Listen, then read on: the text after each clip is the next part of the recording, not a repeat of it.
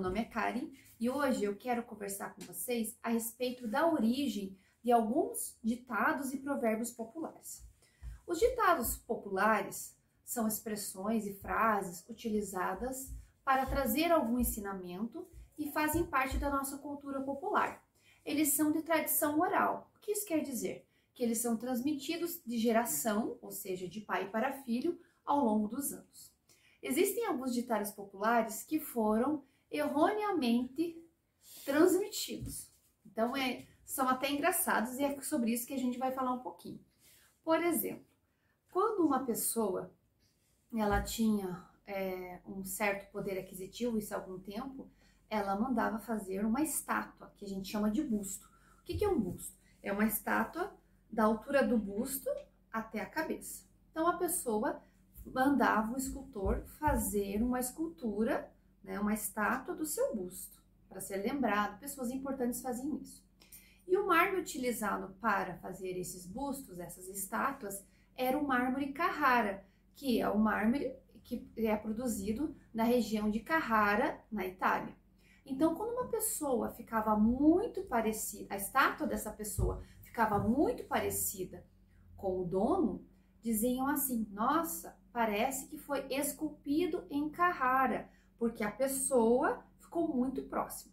E o ditado popular utilizado era o seguinte: quando um filho era muito parecido com o seu pai, diziam assim: nossa, até parece que foi esculpido em Carrara, porque era muito parecido com o pai, muito parecido com o filho. E esse ditado popular ele foi erroneamente transmitido quando as pessoas dizem assim: nossa, parece que ele foi escu, é, cuspido, de cuspir, e escarrado, né?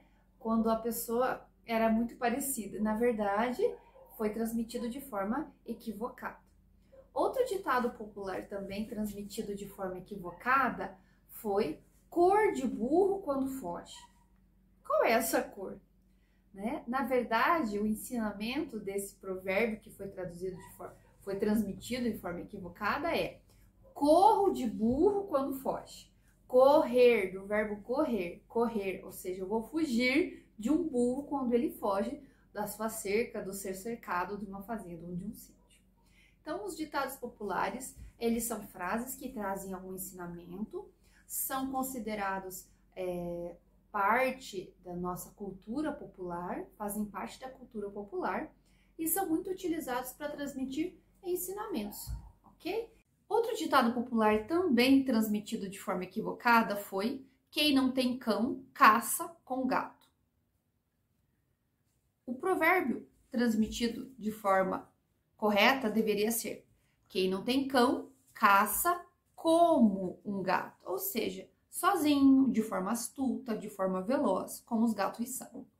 Outro ditado também muito conhecido, eu acho que esse vocês conhecem, é, quando uma criança é muito bagunceira, se mexe muito, e as pessoas dizem assim: aquela criança tem bicho carpinteiro.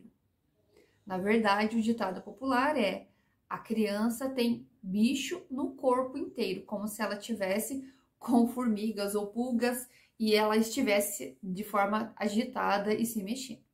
Esses são alguns ditados populares que são engraçados porque eles fazem parte da cultura popular e eles foram é, transmitidos de forma equivocada, né? Existe uma história por trás deles e são muito interessantes. Espero que vocês tenham gostado. Um grande beijo e até mais.